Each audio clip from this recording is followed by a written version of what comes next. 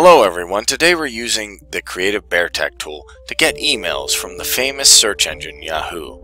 Now, you might be familiar with Yahoo, it's, it's been fairly popular. It's an American web services provider that's located in Sunnyvale, California, and it is owned by Verizon, and the company was started by Dave Filo in January of 1944. It was also incorporated in March 2nd, 1995, and they were one of the pioneers of the early internet era in the 1990s. Now first, to get emails, you're going to want to make sure that you have the registered version of the software, as without the registered version, you won't be able to run the scraper itself. Next, we're going to go select a niche. I think we're going to get video marketing for this one. And we can type in different keywords one at a time. So after we've named our project, we can get keywords like video marketing, videos, YouTube,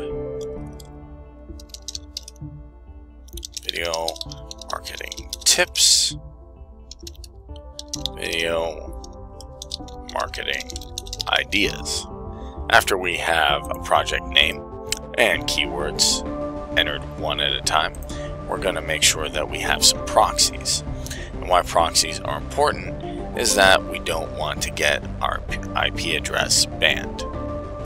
Once we have some proxies in there, we're going to check the speed settings and make sure that they're what we want, that we get the total number of search results we want, and that we're not getting more crawling more than five emails from the same website. We're going to make sure our captcha is in there, and we have our API key, and then we're going to select Yahoo. Now I do want to make one note. We're searching Yahoo internationally. Now what that means is Google and Bing, you can drill down to different countries different locations. Internationally is taking it from, as it says, the international stage, all countries, all places. So after we've selected Yahoo, and we can see it in the type here, we're going to hit save and close. And then we're going to go ahead and hit start. And we can see the search engine is working as it says please wait. And since we have visible mode on, this is going to help us see what the search engine is doing. Now you can turn visible mode off by clicking invisible mode here before you start your search. But now we can see what it's doing. We can start to see that emails and information is going to start to come through. So we're going to give it a little bit of time here.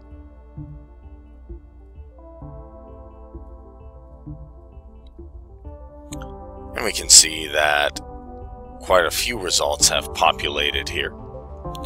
Now, when we're satisfied with the amount of results that we've got, we can simply hit stop.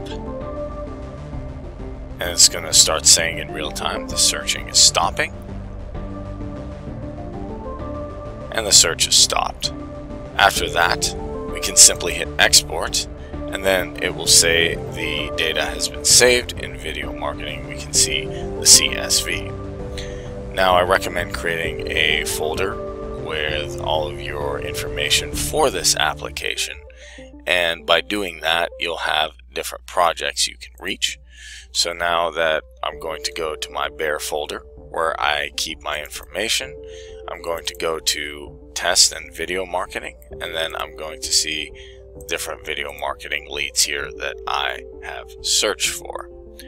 Now I can go ahead and open this up in Excel and then I will have all of my information needed to start contacting leads, to start being part of this niche, and then as a small business owner and individual, reaching out to these individuals. So we're going to give this a second here to open up.